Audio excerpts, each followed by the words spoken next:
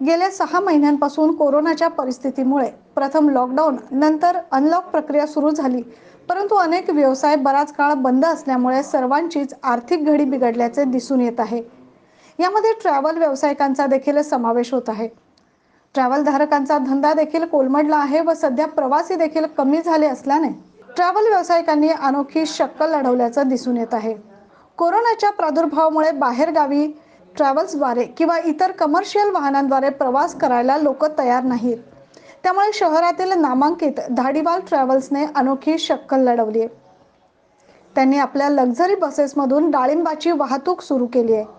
यामध्ये लक्झरीची मागील डिक्की उघडून डाळिंबाचा माल भरला जातो व हा माल इंदोरसारख्या शहरात रोज पाठवला जातोय.